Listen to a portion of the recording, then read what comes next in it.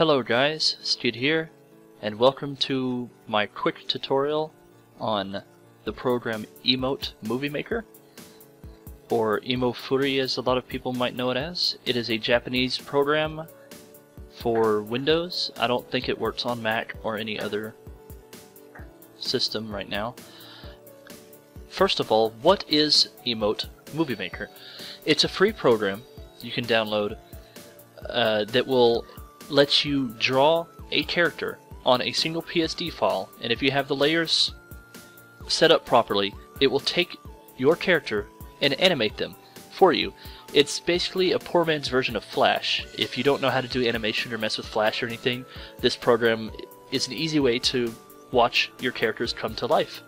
And uh, there are tutorials out there, but most of them are spread out. Like there's a tutorial on how to install the program, there's a tutorial on how to like export the files in the program and stuff like that, but they're not all together. So that's why I'm making this video. I'm going to compress them all into one tutorial so you don't have to go searching everywhere, and hopefully I'll cover everything.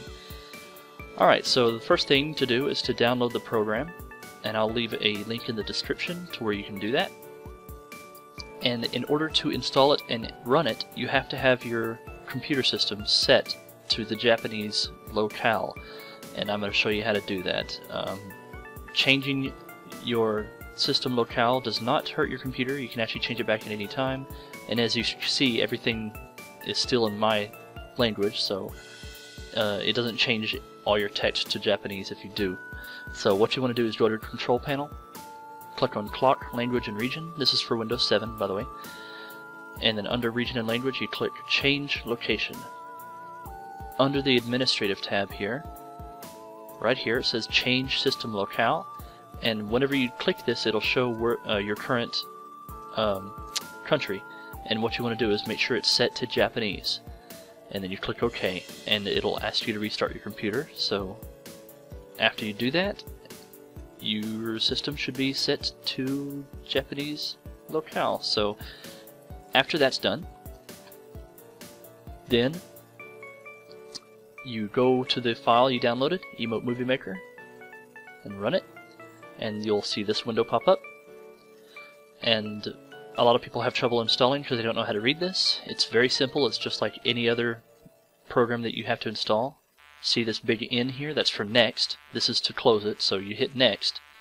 And right here is the Terms of Service Agreement. A and D, that's for accept and decline, so you want to accept it, and then click next and then just keep all that checked and hit next again and it should install. But since mine's already installed, I don't need to, to do that. And here's the program up and running. But before we get to mess with the program, you actually have to draw your own character into this PSD. What you do is you go to your C drive Program Files, mTools Cheeseware, Emote Movie Maker. And then go into Template, or wherever you installed it. You go into Template, and right here where it says PSD, you open that, and you open this file. This is the template it gives you. And you open it in Photoshop or Paint Tool SAI or whatever you use. I use Paint Tool SAI, so that's what I'm going to use it, or open it in. And this is what it gives you. Now I'm going to explain what each of these folders are and what you should do. First, you're going to ignore all these other files. Uh, this this top one and this bottom one you'll want to have hidden. What we're going to focus on first is this third folder. And what's in this third folder is each individual piece. There are different layers. This piece is the bangs. This piece is the head. This piece is the breasts. This piece is the body. And this piece is the back of the hair. And what that's going to do is whenever you put it in the program, it's going to animate each individual piece. So whenever you go in and start drawing your own character in here, you'll want to keep the layer names the same. Do not change the names of the layers. And if you have to, just copy and then like if you make a new layer, just paste it and that way it stays the same. So this layer that's a head layer, if you draw a new head on this one, just make sure you delete this layer afterwards. Or merge them or whatever you decide to do. So when you get done drawing your character in there, up here in the second folder is the face layers. This layer right here, I know it's a little hard to tell, so this layer right here is the eyelashes, the outline of the eyes. Right here is the pupils and irises. And right here, it's hard to tell, but let me draw right here, I'll show you. If I put red right here, this layer right here is the white of the eyes, the cornea. So those top three layers are the open eye expression. This layer, if you hide all these top three layers, this one right here is the closed eye expression. And like I said, just as uh, the third folder, keep all the layer names the same. This layer is eyebrows, they're both on a single layer. This layer is the mouth. This layer is the open mouth. And this layer is the nose. So after you get done editing your character in, this top folder here, we'll unhide it. As you see, it's got a bunch of red squares. It should be the same for you. The, and yours might have these showing too, but these three points of interest here, you don't need to worry about these, unless you make your character taller or something. Now what these red boxes are, is they help you, the program, identify which is the left eye and which is the right eye, or which is the left eyebrow and which is the right eyebrow. As you see, each layer has an L, R, L, R. And if you hide the layer, you see that this is for the left eye.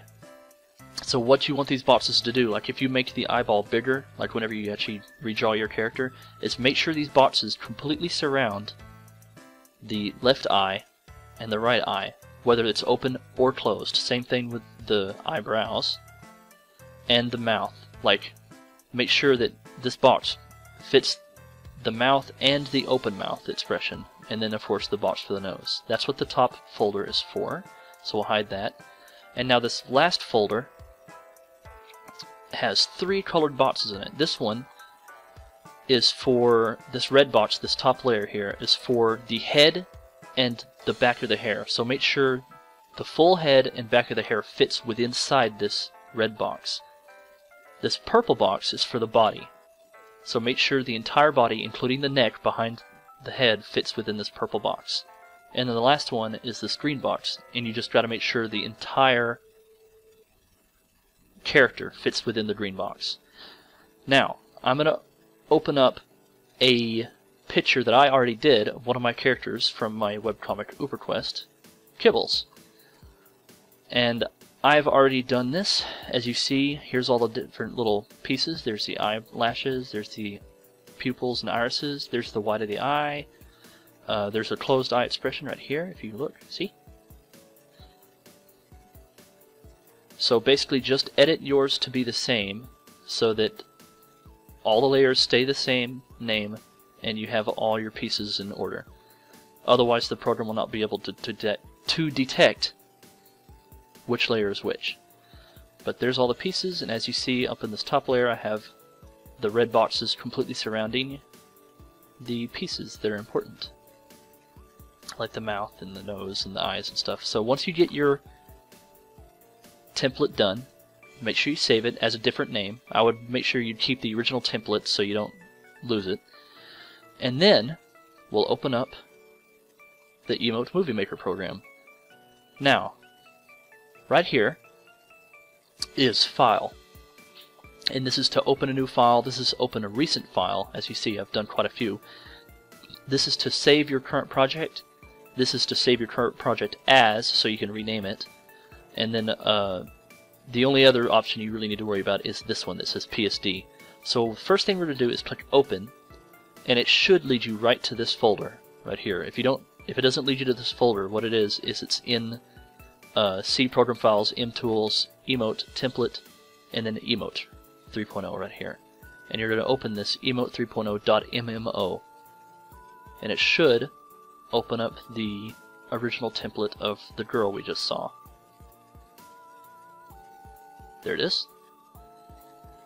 Now this is where the magic happens. So you're going to hit File, and hit this PSD button right here. This is to import a PSD file, this the file that you just edited and saved. So go to wherever you saved your file and import it. Alright, see it opened up my Kibbles file here. And now this is the this is a really important part. Over here it shouldn't have any red text. If it does, then you saved your PSD wrong or one of your layers may have been misnamed. So you might want to go recheck your PSD file and make sure everything's in order.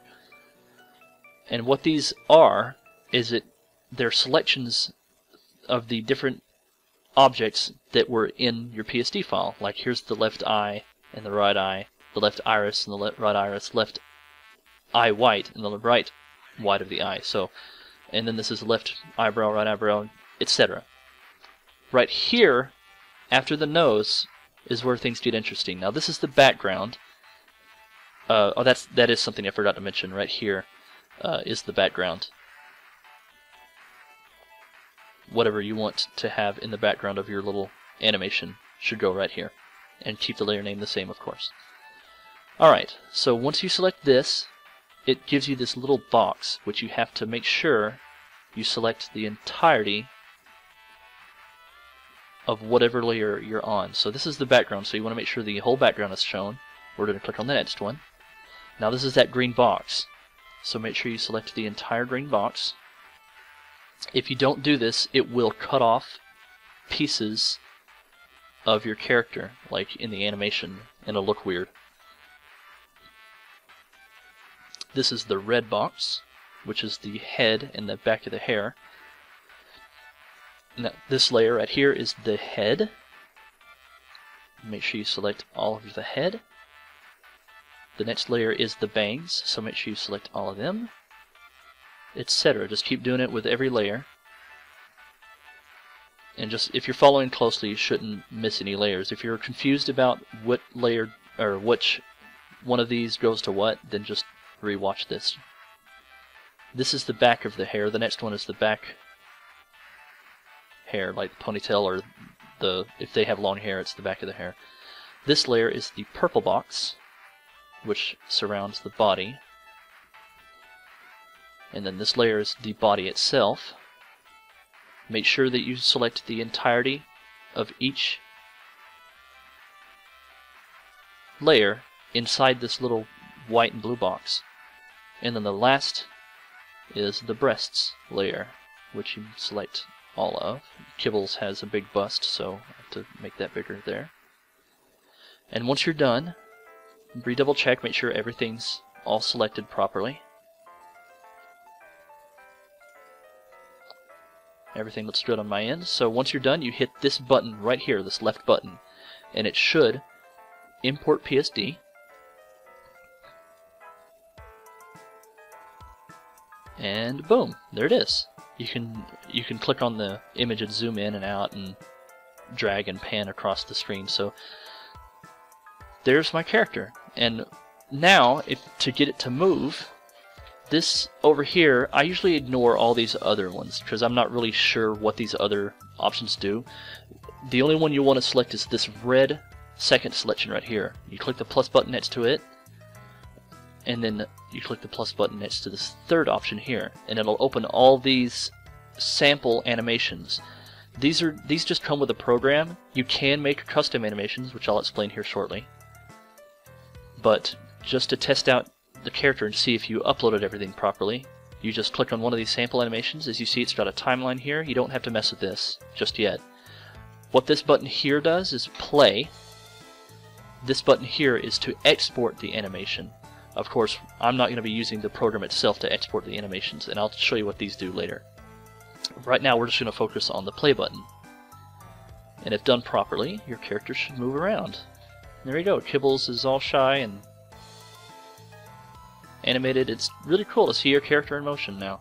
So that, obviously I uploaded and made everything selected properly. So now, I'm going to quickly teach you how to make custom animations. In this same area, you're going to click on this right here, this little option right here next to the plus symbol. And right here, this is where you name your animation. So name it something like Uh, I'm just going to name this test. Test animation. If I can type properly today. And then you hit this button, and boom, there it is. Test animation.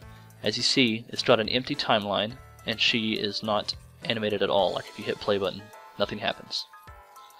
So in order to animate her, what we're going to do is we go up here to this second option in the red area, click on it, and this gives you a bunch of sliders.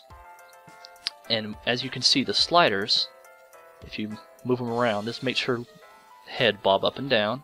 This head, this one makes her head tilt to left and right. This one makes her head turn left and right. As you can see, it's pretty cool. This one moves her whole character left and right, and this one moves her up and down. Basically, you gotta experiment with what each one does. This one, I believe, is her mouth. Yeah. This one is her eyebrows to different different expressions for her eyebrows. This one is her eyes, whether they be closed, really happy, or really wide-eyed. And to reset, you just hit this button. This button is to reset if you like, if you messed with a bunch of uh, settings and stuff like this, and you're like, oop, I want it to go back to default. Just hit this, and it'll reset it. This one uh, moves her eyes up and down. This one moves her eyes left and right. This one tilts her whole body left and right. This one makes her look like she's breathing, like breathing up and down. This one makes her kind of jiggle left and right. Uh, this one rotates the whole thing. I've never used this one. And then this one, of course, makes her lean back or lean forward. So that's pretty cool. Now, to make your own custom animations, what you want to do is move your character to a specific pose you want. Like I'm going to make Kibbles look up and to the right here. So make her eyes look up to the right. Maybe make her smiling. And now, I'm going to save this pose. What you do is you hit this third button right here. And that'll save that pose in a library. And I'll show you how to access that library shortly. Then you select a different pose. Like let's make her look to the other side. Alright? Then we'll save that into the library. Then we're going to make her look down. We'll make her look over this way. We'll give her her smile back right here. Maybe make her look kind of determined or angry or something. And we'll have her eyes widen here. Hit this third button again to save that one. And then one more, just have her just look over this way. I love that expression, that's hilarious. And save that. So now we saved four pictures into the library. So go to your test animation, and right here on the timeline, I usually start at about 60, and just, now, this is, uh, I think this is milliseconds. So right uh, I'm not sure how to exactly how to read this just yet, but I think this is in milliseconds. So uh, I start usually started at 60 because the animations are a bit weird with this program, or at least on my end it is. So started about you know somewhere around here, and then to access your library, you click this fourth button right here, and as you see, there's the four pictures I saved. So we're going to select this first one. See? Now we're going to zoom ahead in the timeline a little bit Click the library again, select the second one. And I want her to keep this pose for a little bit, so I'm going to click ahead and then select the same exact one. So from here, she'll look to the left and then she'll stay in that position for another couple of milliseconds. And then right here, make her look down, and then we'll make her look right. And that's it. That's how you make custom animations. Then you just hit play. And there you go. There's the quick animation I did. So that's how you make custom animations in Emo 3. And if you want to save these animations, you can hit this export button. And uh, you can export it as a GIF or WMV. If you export it as PNG, it's going to save every single frame of animation. So I would not recommend doing that. Um, actually, I wouldn't recommend using this export program at all because it makes it very choppy, very like low frame rate, kind of crappy. So I'm not even going to show you that. Um, what I would do is, I'm sure if you noticed, I have this GIF cam. And I'll leave a link to the description for this program as well. What I do with this is I open it, open GIF cam,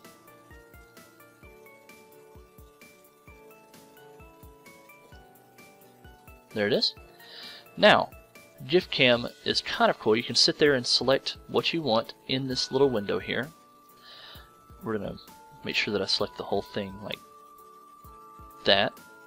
Actually, I want to make sure that just that upper part of her body is selected. So go to test animation, there you go. And then you hit record, then click play. Do, do, do, do, do.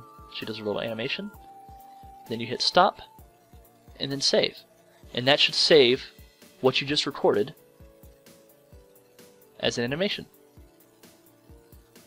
And that is my basic tutorial on how to animate in Emote Movie Maker. If I missed anything, just leave a comment and uh, ask your question if you have any, and I'll answer them to the best of my ability.